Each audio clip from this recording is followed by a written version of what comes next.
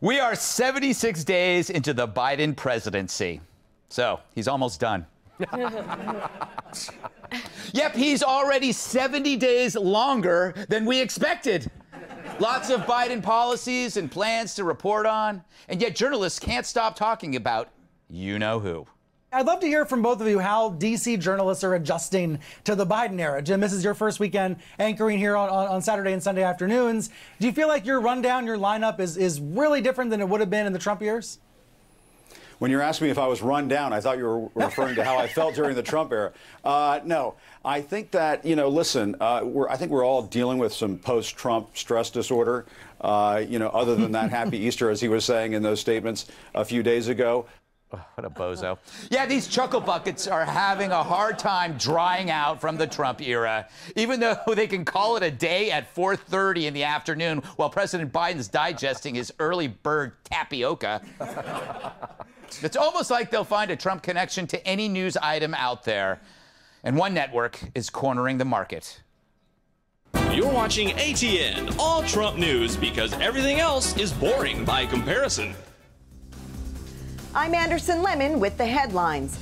The annual Global Retirement Index is out with its latest list of the best places in the world to spend your golden years. Topping the list this year, Costa Rica, followed by Panama and Mexico. Sources say if Trump is elected in 2024, we can expect all Americans to retire and move to literally any country where Trump is not president. And I'll be on the first plane to Bermuda with a suitcase full of edibles. Police in Georgia say a weekend traffic jam was caused by a loose cow running along Interstate 285 near Atlanta, possibly spooked by a phone call from Donald Trump. Cars were at a standstill for about an hour until police were able to safely capture the cow and return it to its owner. Sources say this never would have happened if Donald Trump had an infrastructure plan that consisted of more than just turning wayward cattle into well done steak. I swear, I do not know how we ever survived that guy. and a new study shows that people cannot tell the difference between screams of joy and screams of terror. Researchers at Emory University say the two types of screams have similar acoustics. For example, if I attended a Sugar Ray concert in the 90s, sheer joy. Ah! Whereas if I attended a Trump rally, unmitigated terror. Ah! Thank God I'll never have to see those again. I mean, all those happy people with the flags and the children and the grandparents and the YMCA. Ah! Makes me sick to my stomach. Seriously, I think I need to see my gastrologist. Although he voted for Trump twice. Oh, God, I hate him. More headlines in 30 minutes. I'm Anderson Lemon. I am worried about her. Um, Eric, what, what is it? What is it like to know that your dad has like a really unusual psychological effect on people, especially in the media? It's just strange, unless you unless you've experienced it yourself. oh, oh, trust me, I've experienced it myself. And by the way, to see Acosta act like that, it, it's it's actually like incredibly refreshing. But it's true, guys. I mean, can I can I call it for what it is? I mean. Biden is boring as hell. Yeah. Kamala's nowhere to be found. Mm-hmm. Could you imagine if I acted the way that some of the Biden kids did? Meaning, if I took one penny from China, if I took one penny from the Ukraine, mm-hmm. if I was smoking Parmesan cheese. Yes. meaning he couldn't have gotten elected, right? Let, us let's just be very Watch honest it. about this, right?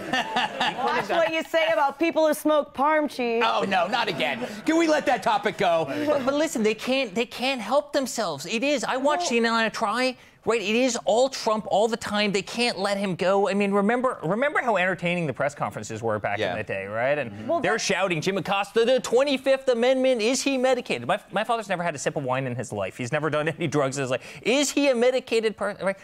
Now they have nothing to talk about. They have no one to rant and rave. Their ratings stink. Mm-hmm. You know, Twitter's boring.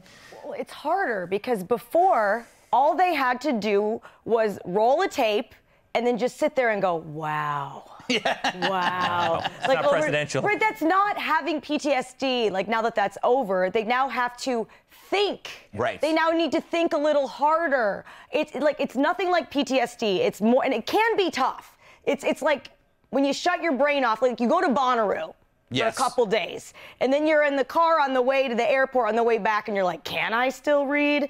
Like, kind of like that, which is hard and scary. Yeah. But That's when you think you think you might have done some kind of permanent damage because Right. temporarily you think it's over. Yeah, right, exactly. But you can work through it. It's not PTSD. It's just, you know, you're a little rusty on the thinking.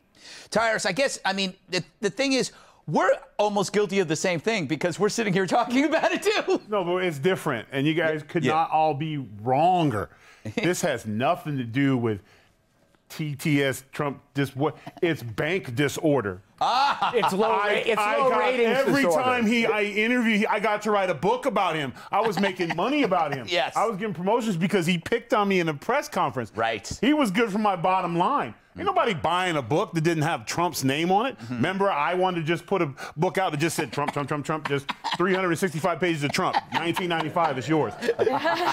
because that's what's really hurting. They pockets because they can't have books anymore. They can't get paid for one-on-one interviews to talk about the time that he told them he was unfair. Yeah. You know what I'm saying? So this has nothing to do. This is they're hoping that they will say something because in the past, if you took a shot at President Trump, he'd fire a two-piece back at you, and then boom, you got a book again, and you on the you on everyone's TV show because you got breaking news. President Trump insulted me. Roll the tape. That's right. And then when they they come back like wow, and then you get a panel of 47 people to talk about it, and then two weeks later, my book, Trump Yes. terrorized me. That's what's going on. Ain't nobody buying Jim Acosta my day at work book. They don't want Brian Stelter's pop-up book. Like, who wants to see that? Oh, a pop-up book by Brian Stelter. Think about it. What would be popping up? I don't know. I- I- well, at least it's at least it's not um, Jeffrey chips. Toobin. That pop-up book would be really bad. Really bad. All right, enough of the pop-up book jokes, Kat. Uh, I, I, I, I, is Ty- my Tyra, life. I, I disagree. I, I think they do suffer from a psychiatric disorder at CNN. Um, I've wondered what it was. I thought it was narcissistic personality disorder. Um, I've seen all the symptoms, the delusions of grandeur, uh, the rambling on about imaginary, irrelevant That subjects. can also happen at Bonnaroo. yeah, this is true. But I mean, they've tried. They've tried to replace Trump with Joe Biden's German Shepherd. Right. They're, they're trying. To, Yes. Oh, yeah. yeah, no, they're trying to get us interested in this. It's like Bewitched after they took the first Darren away. It's it's, it's a boring show, um, and, and and I don't blame them. But the problem is not Trump. The problem is when he went away, it revealed how sick. In fact, they really were. They no longer had somebody to bounce it off of. yeah, so you're saying Trump is Dick York, and Biden is Dick Sargent, Ex- Yes. and Hunter Biden's just a. Yes. Yeah, you didn't see that one coming, did you? Do you, do you have to bleep that? I don't think you have to bleep that because use it as a name. It's a you name. can use it's it as a yeah. name. Okay, oh, thank you. Short for Richard. Dr. Richard. there you go. Richard.